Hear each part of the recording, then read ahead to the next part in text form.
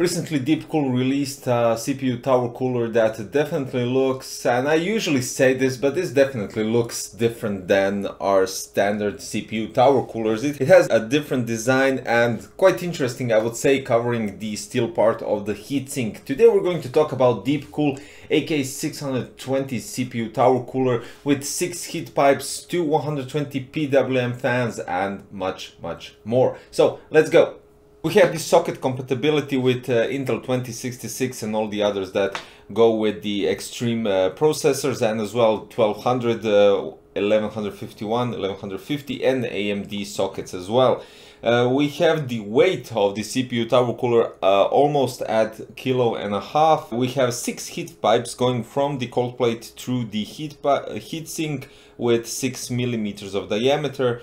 Uh, the, the, fan dimensions are 120 and the thickness is 25 millimeters which have the fan speed from 500 to 1850 rpms. The fan airflow is almost 69 CFM and the fan noise is less or equal to 28 decibels. The fans have fluid dynamic bearing and the rated voltage is 12 VDC. Now, as you can see, the top part that covers the aluminum heatsink is definitely uh, quite cool, quite subtle. I would say there's no RGB and I really like it just because of that, because it kind of brings something new to the table. Very sleek design two fans, one is on the front and one is in the middle between two heatsinks. The middle one needs to be removed before placing it on the motherboard because you need to tie up the screws on the uh, plates which are on place uh, on the on the motherboard. Now here at the bottom you have two screws that you can access with the screwdriver that you get inside the accessory box. So the accessory box, what does it contain? You have the back plate for the Intel socket you have uh, plates for mounting the CPU tower cooler, locking nuts, standoffs and locking screws. Uh, we have the screwdriver as I already said, uh, it has the exact distance that you need from the top to the screws at the bottom. You get a PWM splitter, so you don't have to use two PWM headers on your motherboard. You connect both fans to this splitter and only one PWM header to your motherboard. We get uh, instruction manual in this uh, sleeve box and you get thermal paste. Basically, very small amount of uh, CPU tower coolers actually come with pre-applied or even any come with pre-applied thermal paste. So we're going to check this one out, of course, with Deepcool thermal paste. So the interesting thing that I see right from the start is the actual product. The design is completely something different, slick and more uh, let's say looking with the new Deepcool logo. Uh, let's check out uh, the thermals. Placing a Deepcool AK620 on your motherboard, especially on your AMD socket, is quite straightforward. You place the uh, locking nuts that have the back plate, then you place the plates, locking nuts, and finally you place the CPU tower cooler, and after that the middle fan. Since I already stated you need to remove it to tie up the screws for the cooler for the passive heatsink to the plates holding it on the motherboard.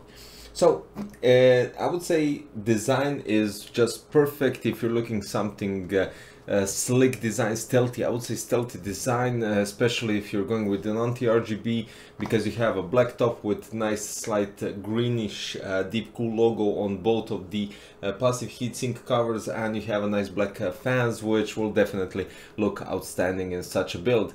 But uh, here we go. So we have 160 millimeter height. You have clearance for your rams up to 43 millimeters. If you decide to remove the front fan, you can go up to 59. So this is something if you decide to go with high profile rams or some rams that have extravagant uh, RGB uh, coloring. But as you can see, I have silicon power right here with RGB and they fit perfectly fine.